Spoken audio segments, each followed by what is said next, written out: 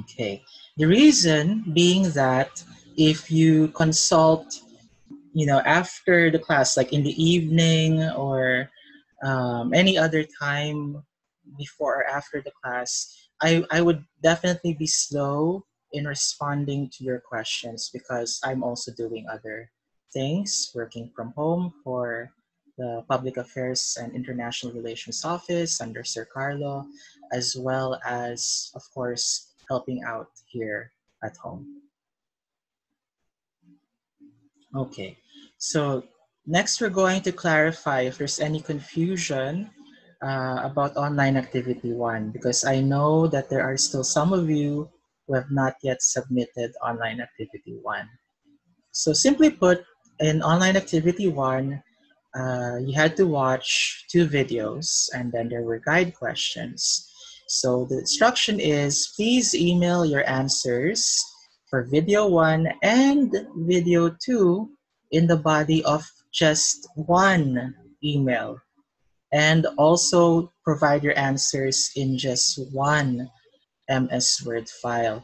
So you might be wondering why why must there be two copies of the same answer, one in the body of the email and the other as an MS Word file.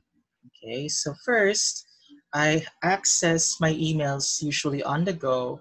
So if I read what's in the body of the email.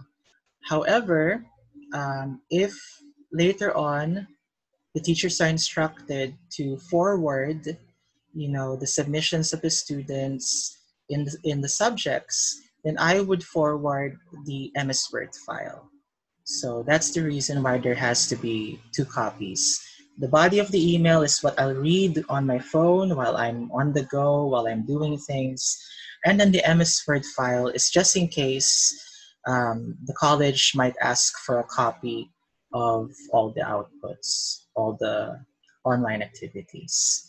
So regardless, the file name and the subject of the email are the same. Subject, first name, online activity one.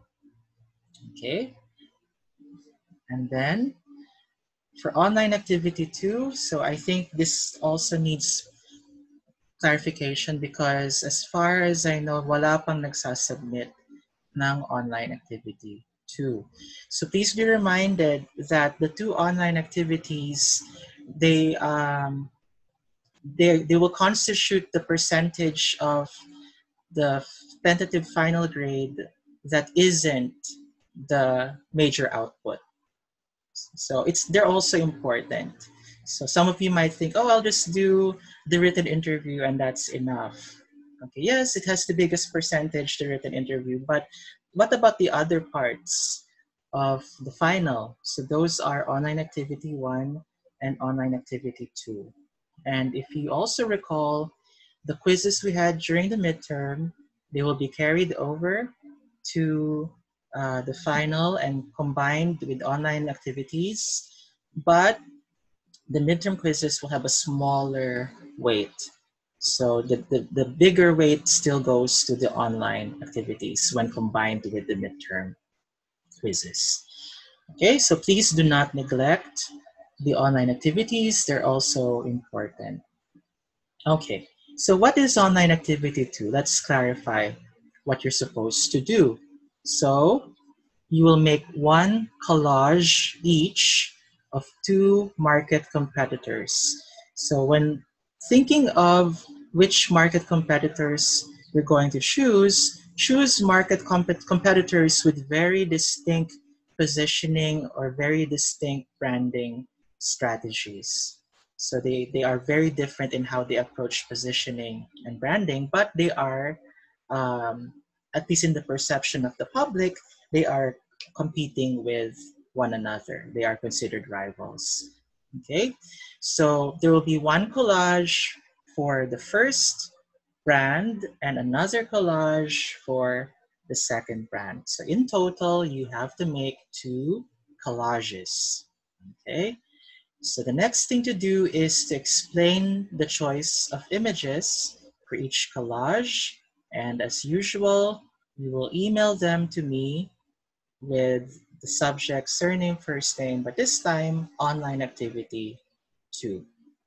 Okay, and the explanation. How many explanations? Again, there will be two. One explanation for the first brand collage and the second explanation for the other collage of the other brand. Okay, so how will you send it? You will attach a copy of the explanations in an MS Word file following the usual format.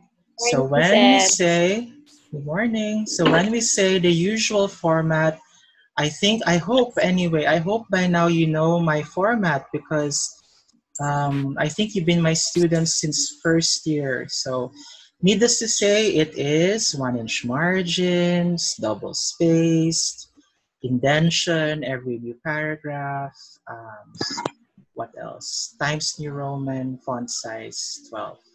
Okay, so name as, uh, name the file as surname, first name, online activity 2.doc and then you will embed the collages in the MS Word file. So what's going to happen? Winawin natin ha. With regards to the explanations for the collages, there will be two copies for the explanations. Again, one in the body of the email so that I can read the explanations while I'm on the go. I can just read it on my phone and then another in the MS Word document uh, so that in case the college asks for a copy of the online activities, then I can just uh, send the MS Word files. Okay, but here's the but. The collages themselves, how many? Two, right? One for each brand. They will be embedded in the MS Word file.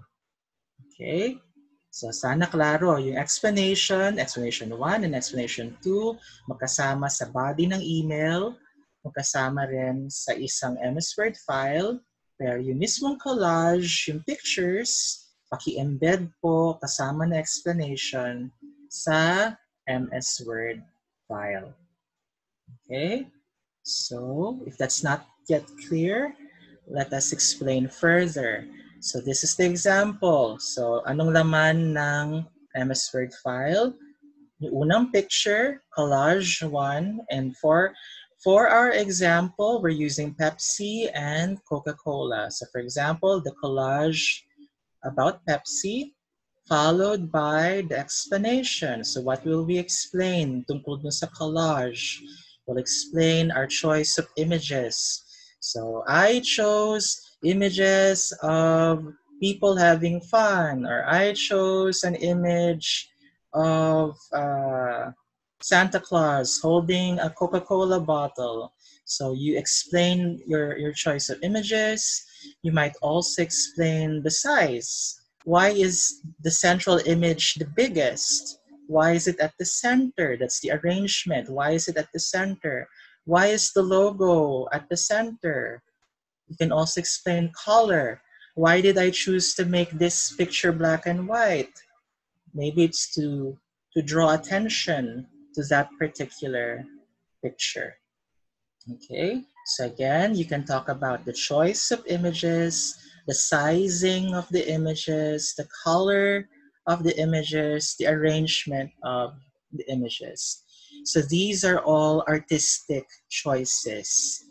So if online activity one was more about um, exercising our cognitive uh, skills, this the, oh, online activity two, well, it also has that, but it's more on exercising our artistic side. So you have to explain your artistic choices. Bakit ganito yung ginamit kong images, bakit ito yung sizing, bakit ito yung nasa gitna, bakit ito yung kulay, etc. Okay? And still included in the explanation is what can you say about the positioning or branding of the product? So you'll do the same, all of the same uh, steps for the second collage. Okay, so sana klaro po, no? Dalawa ang collage, dalawa rin po ang explanations. So next, we have, well, an example of what a collage could look like. So you can use um, digital images, put them together using an app on your smartphone or maybe an app or software for a PC.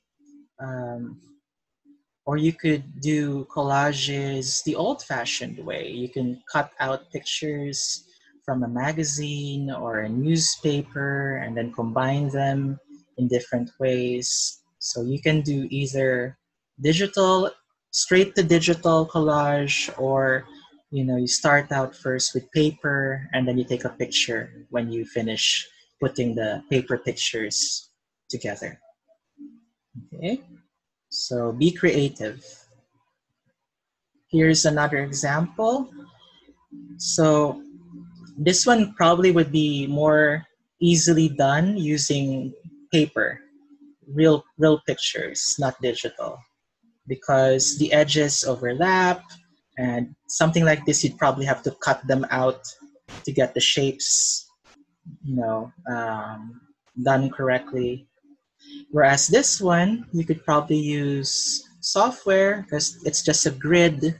You just combine different squares together into one picture. So you have the freedom to choose uh, the style of the collage as long as you're able to explain properly how you came up with your artistic choices. Okay, so that's on online activity two. So going back to our checklist, the first uh, two items, of course, we already talked about them. So please do not forget our online activities. And then also, uh, sana within this week, uh, kasi babalik na po kami sa opisina starting Monday.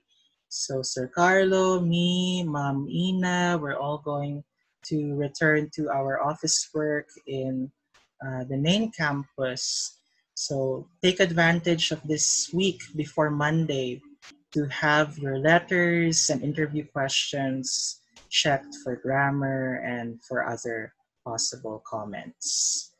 Okay? Right. Sir, ang reads po, may pasok na raw po kaya? Um, I don't know, Jones. Sino bang contact person yung sa reads na pwedeng pagtanungan? Sir Carlo Mm-mm. Kasi ang alam ko lang, yung uh, nag-meeting kami sa NTP, so kami po, uh, both NTP for, for Kanyakaw and main campus, sa Monday, balik na po kami. Lahat magsasama-sama sa main campus. Okay? So as for the reads, uh, maybe you can ask uh, kung, kung, saan, kung kanino kayo under sa, sa school, which office, pwede kayo magtanong siguro doon. Okay, and uh, okay, then okay. So this one, actually, I posted uh, the link to this in our group chat. Ewan ko lang kung napansin ng iba kasi napatungan na ng ibang messages. No? Uh, so this is the sample format for the letter. And as you will notice, it's different from our usual, our AKA the usual format. No? Uh, also known as the usual format. This letter format is different in that it's single-spaced. Sa letter lang po ito ha, just to clarify. It's single-spaced pero double between the paragraphs. And mapapansin nyo po, left-aligned lahat, wala nang indention. So left, justified sa left margin lahat. Okay. Now, um, if you already submitted a letter for me to check, don't worry, you can still uh, change the, the format when you submit it with all the other final output requirements. Okay, so siguro ang babaguhin lang natin dito sa sample letter na to is the font. So we will retain uh, Times New Roman 12. Okay, so again, ang babaguhin lang dito sa format for the letter is the font. It should still be Times New Roman 12.